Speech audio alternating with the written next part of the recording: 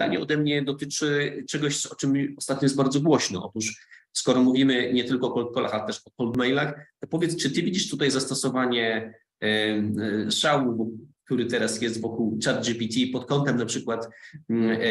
mm, pisania treści maili, czyli jak wykorzystać ChatGPT do pisania maili, czy polecasz, czy próbowałeś, jak, jak, jak to można połączyć? Jest taki autor